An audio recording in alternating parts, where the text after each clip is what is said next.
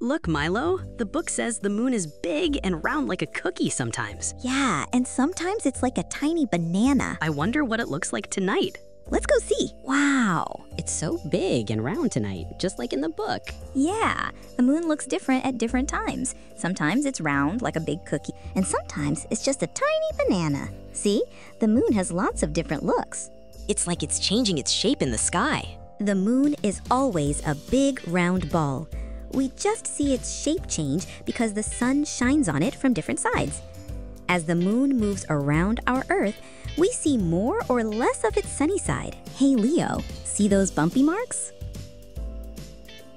Craters. When little rocks from space hit the moon, they make little dents called craters. But how does the moon shine, Milo? Does it have a giant light bulb inside?